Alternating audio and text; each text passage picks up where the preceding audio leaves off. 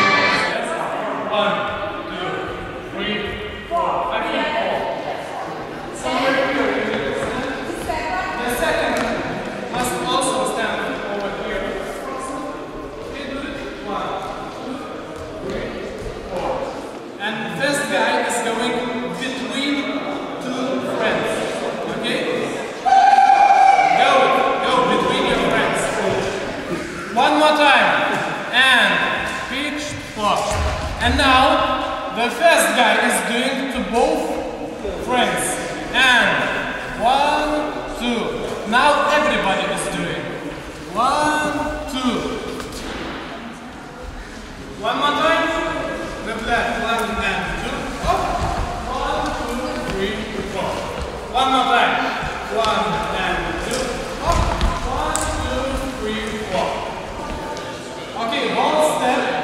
like this.